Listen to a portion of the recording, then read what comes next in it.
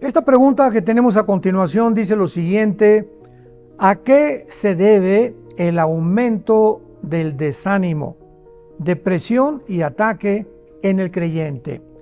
Bueno, la Biblia nos muestra muy, muy claramente que hay únicamente dos reinos, el reino de las tinieblas, el reino de la luz, el reino de la oscuridad, el reino de la verdad.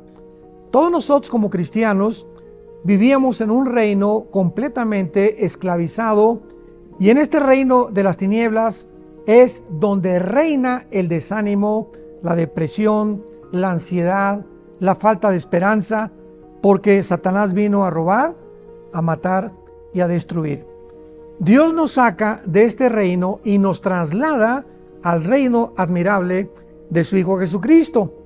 Y ahora que estamos bajo el reino de Dios, gobernados por el Espíritu Santo, nos deja Dios la Biblia, su palabra, para que extraigamos de este libro, esto es muy importante, las fuerzas, el ánimo, el coraje, el valor que necesitamos enfrentar porque nos hemos vuelto inmediatamente enemigos del reino de las tinieblas.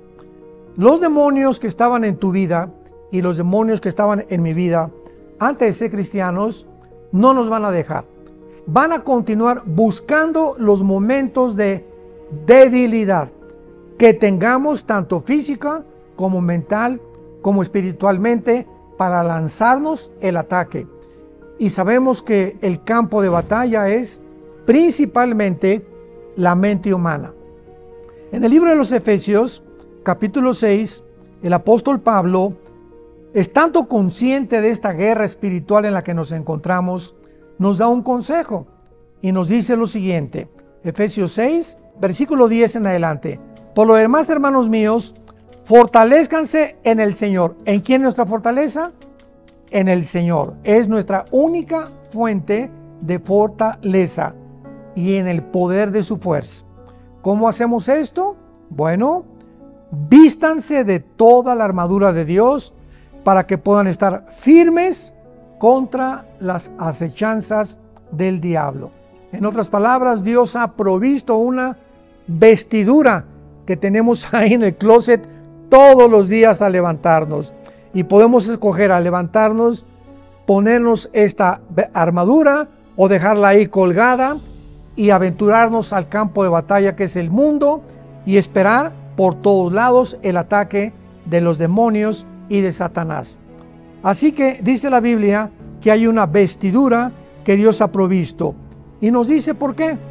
Porque no tenemos lucha contra sangre ni carne, sino contra principados, contra potestades, contra los gobernadores de las tinieblas de este siglo, contra huestes espirituales de maldad en las regiones celestes.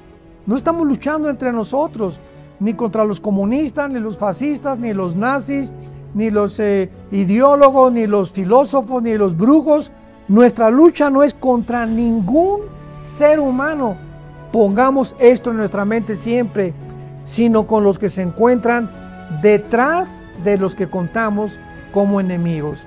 Así que si tú crees que algún ser humano, tu suegra, tu hermano, tu esposa, tu esposa, tu novio, los consideras enemigos o alguien está hablando mal de ti, no es esa persona la que te está atacando. No perdamos de vista nuestro enfoque espiritual.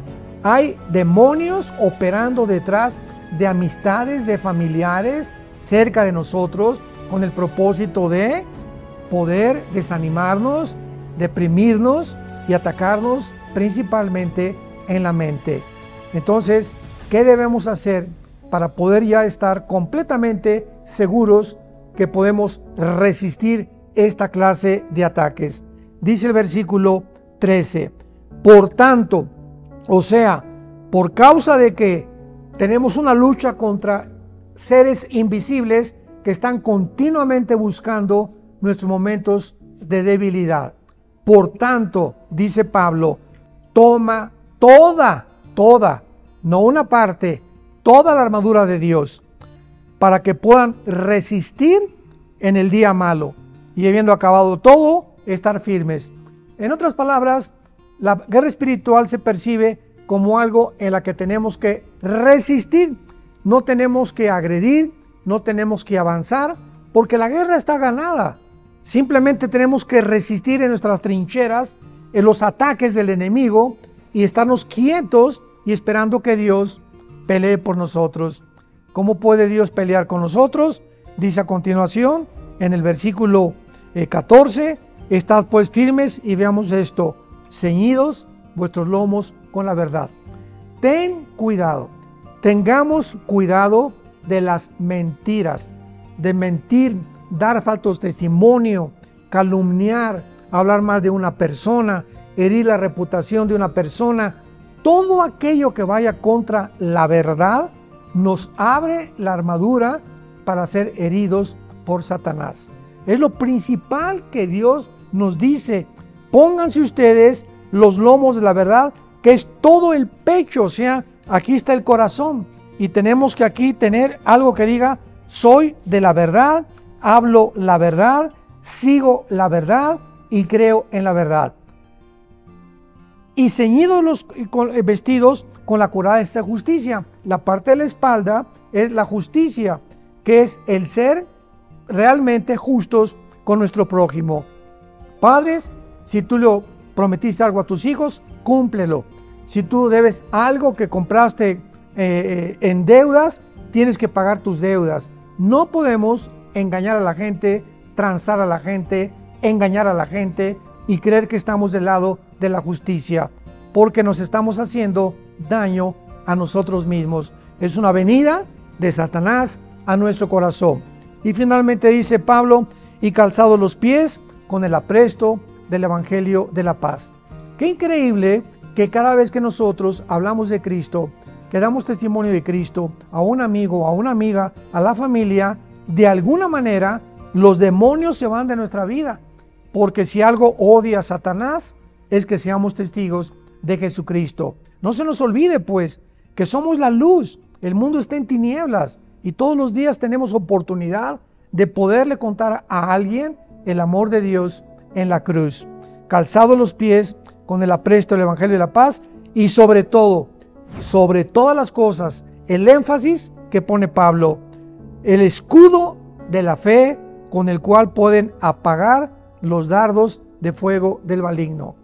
En el momento en que tú eres atacado con el desánimo y comienzas, sí cierto, ya no sirvo para nada, no me va a ir bien, ya no me voy a casar, ya me van a dejar, no voy a tener trabajo. El momento que permitimos estos pensamientos en nuestra vida, ¿sabes qué estás haciendo? Estás bajando el escudo de la fe. Y es lo único que te puede detener los dados de fuego. Y Satanás te dice, amén, amén, amén. Alabío, alabalo, y bomba. Eso es, no te nunca vas a salir adelante, eres un gutierritos, te va a ir como la tostada, nunca vas a salir adelante, no vas a progresar, no vas a lograr tus ambiciones. Este es el propósito de las tinieblas. Pero ¿dónde estamos? En el reino de la luz. Cristo dijo que somos más que vencedores. Entonces, cuando tengas esos pensamientos, levanta la fe, no es verdad. Yo voy a salir adelante, yo, Dios me va a proteger, nunca me va a faltar de comer, no he visto justo desamparado ni su descendencia que me diga el pan. Es la fe, creer lo que Dios dice, lo que impide que Satanás nos derrumbe con desánimo, con eh, ataques, con depresión y con ansiedad y con, y con estrés. Y finalmente, tomemos la espada del Espíritu, dice la Biblia, con el cual podemos realmente pelear contra Satanás. ¿Cómo se defendió Cristo con Satanás? Escrito está, escrito está, escrito está. El momento que tengamos estos pensamientos y estos ataques, inmediatamente citemos la Biblia. El Señor es mi pastor, nada me faltará. Esperanza mía, castillo mío, mi Dios, en quien confiaré. Aún en mi vejez estaré vigoroso y estaré verde, floreceré como la palmera, creceré como el cedro del Líbano. Yo veo que mucha gente se cansa y se desanima, pero yo espero en Jehová, levantaré a las fuerzas como el águila. ¿Qué necesitamos? Pues tener la palabra de Dios memorizada. Pero si no memorizas diario la Biblia, si casi no la estudias, casi no la lees, estás completamente desarmado, desarmada. He aquí la razón por la cual muchos cristianos viven en desánimo, viven en depresión y en ataques porque no saben cómo defenderse por desobedientes a la palabra de Dios.